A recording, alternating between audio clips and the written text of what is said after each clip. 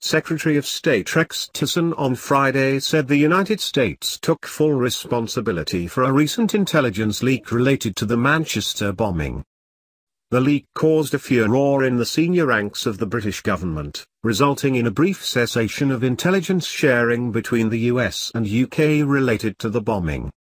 We take full responsibility for that and we obviously regret that that happened, Tillerson said in London alongside British Foreign Secretary Boris Johnson. The President has been very strong in his condemnation and has called for an immediate investigation and prosecution of those who are found to have been responsible for leaking any of this information to the public. Despite the leak, Tillerson said he wasn't existentially worried about the relationship.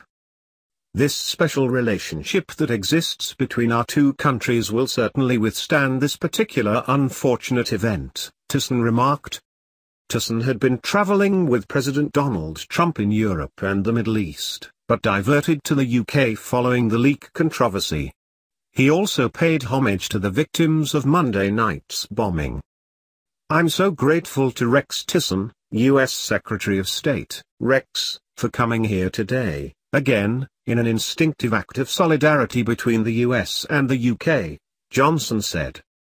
The meeting came as possible new details in the case continued to surface.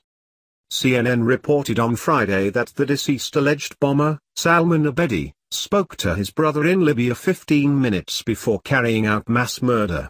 Both Abedi's brother and father have since been detained in Libya.